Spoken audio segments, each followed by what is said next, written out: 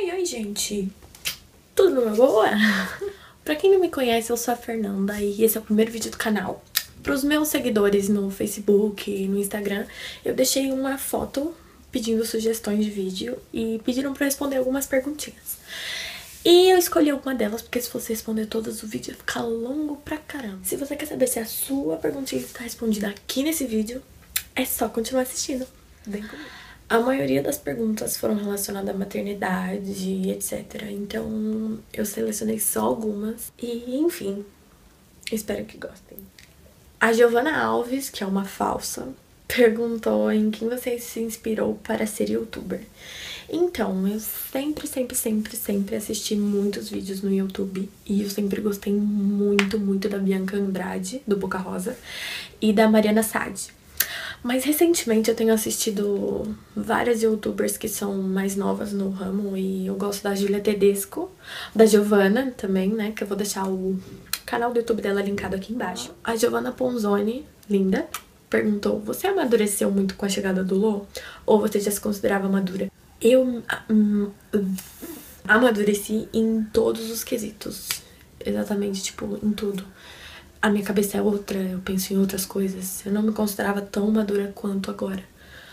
Mas ele mudou totalmente a minha cabeça, totalmente os meus planos, totalmente a minha vida. a Aline Correia perguntou: Na época do ASCII, ESC, não sei falar. Você parecia que ligava muito mais para as redes sociais e afins. Agora parece estar se importando menos. Gente, desculpa mexer no cabelo toda hora porque eu tô meio nervosa. Eu fico meio que. Realmente aconteceu, mesmo porque eu não tenho tempo, porque o Lorenzo ocupa todo o meu tempo, toda hora, todo dia. Não tem um segundo que eu não esteja com ele. Só não estou agora, né? Porque não ia dar. Ele ia estar tá quebrando tudo, derrubando a câmera, derrubando a iluminação. E não ia dar certo. Mas eu não tenho tempo e, como eu falei na outra pergunta, amadureci demais em relação à rede social. Não, não vejo tanta graça como eu vi antes. A atriz Betamelo perguntou: Como é para você lidar com tantas pessoas te acompanhando nas redes sociais? Já recebeu alguma crítica ou algo do tipo que tenha te deixado mal? Sim, já recebi, já recebi comentários maldosos, gente xingando no chat. Hum, inúmeras coisas, mas a gente aprende a não se importar. Porque se você é uma figura pública, você tem que aceitar, querendo ou não, você tem que saber lidar com isso, né? Agora então, o canal do YouTube eu sei que vai cair um caminhão de críticas sobre a minha pessoa, mas tô nem aí. Sendo crítica construtiva, a gente absorve, não sendo.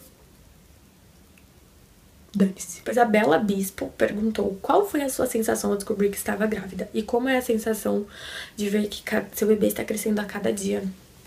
A sensação de estar grávida no começo é muito confuso, muito é um. Nossa, não sei explicar. É, é, são muitos sentimentos ao mesmo tempo. Você fica nervosa, você fica triste, você fica muito feliz, você fica nervosa, você fica com medo, você fica com medo de novo e com muito medo. E medo predomina, mas ao passar dos, dos meses, dos dias, você vai pegando mais amor e você não imagina que o amor aumenta quando a criança nasce.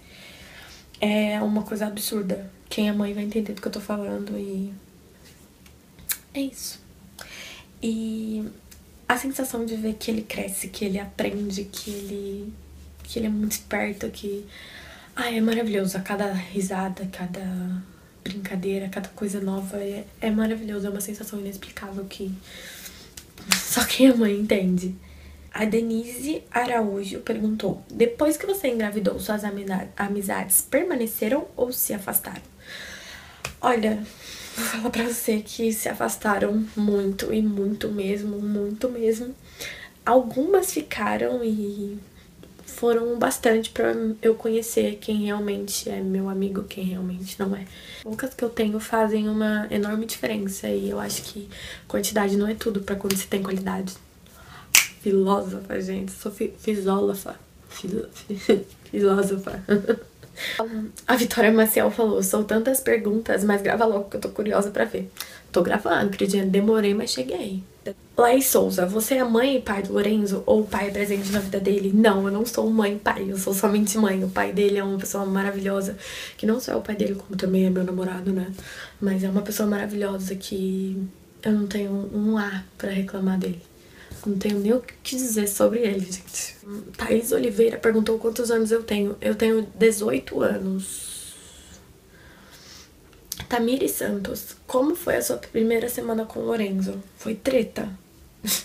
Porque eu chorava e eu tinha medo de não saber fazer as coisas. E a minha mãe que deu banho nele até acho que uns dois meses de vida. E eu ficava chorando pra ela, falando que ele ia chamar ela de mãe e que não ia gostar de mim. E hoje, quem vê pensa. Júlia Vitória falou: Como você se sentiu sabendo que tem fãs e pessoas que te admiram mesmo sem te conhecer direito? No caso, só pelas redes sociais. Tipo eu, manda um beijo. Um beijo enorme, sua linda, maravilhosa. Ai, gente, o carinho que eu sinto pelas pessoas que sentem carinho por mim é imenso, assim, é uma gratidão imensa. Porque sem vocês eu não, não teria nada nas redes sociais, eu não seria ninguém, ninguém ia me conhecer e, né, eu não teria o reconhecimento que eu tenho hoje, que não é, nossa, você é a Flávia Pavanelli, não, não chego nem aos pés, mas tô aqui porque pediram, né. Aí, Ellen Vitória perguntou, até quanto tempo você deu leite do peito pro Lô?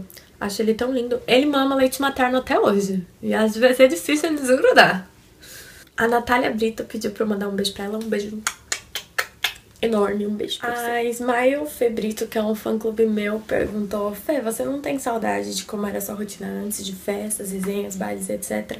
Não sinto nem um pingo de saudade da minha vida de antes. Eu tô totalmente completa com a vida que eu tenho agora. E não tenho nem o que reclamar. Não sinto nem um pingo, nem vontade de, de voltar à minha vida de antes. Gente, se eu tô mexendo muito no cabelo, desculpa, é porque eu tô meio nervosa, com vergonha, com um monte de coisa aí, né? A Flá Acena perguntou como é o meu relacionamento de amizade hoje com a Vitória Sinner. É igual antes, gente. A gente continua sendo amiga, a gente se fala sempre, todo dia, a gente se xinga, a gente briga, mas a gente se ama. A A. Li Silva perguntou: Qual foi o ano mais marcante de sua vida até aqui? E por quê? Beijo. Beijo. O meu ano mais marcante da minha vida até aqui foi o ano passado, que foi o ano que meu filho nasceu, que foi o melhor ano da minha vida, o ano do melhor acontecimento da minha vida e não tenho nem o que explicar. Oliveira, underline perguntou: O que você sente falta da sua vida de antes? Manda beijo, Fifa. Um beijo, meu amor. Eu não sinto. É, se eu falar que eu não sinto falta de nada, eu tô mentindo, porque eu sinto falta de dormir, viu, gente? Dormir sem preocupação era a melhor coisa que eu fazia na vida, mas agora.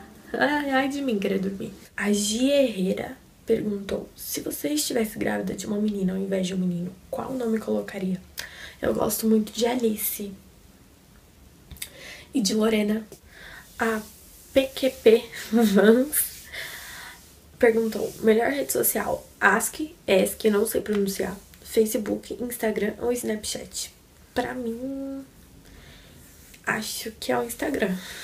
Então, gente, é isso. Eu selecionei só algumas. Desculpe se eu não consegui responder todas. Eu queria mandar um beijo para todas vocês que perderam um minutinho fazendo uma pergunta lá no Facebook e no Instagram. E um beijo especial para todos os meus fã-clubes. E é isso. Muitas meninas me pediram um relato de parto, experiência como mãe, e eu tô pensando em fazer um vídeo só falando sobre isso. E se vocês quiserem, é só comentar aqui embaixo. Não tá se esqueça de se inscrever aqui no canal e deixar o seu like, porque é muito importante pra mim. Deixe sugestões de vídeos aqui embaixo. Pra quem não me acompanha nas redes sociais, elas vão estar linkadas aqui no box de informação, tá bom? Um beijo e até a próxima!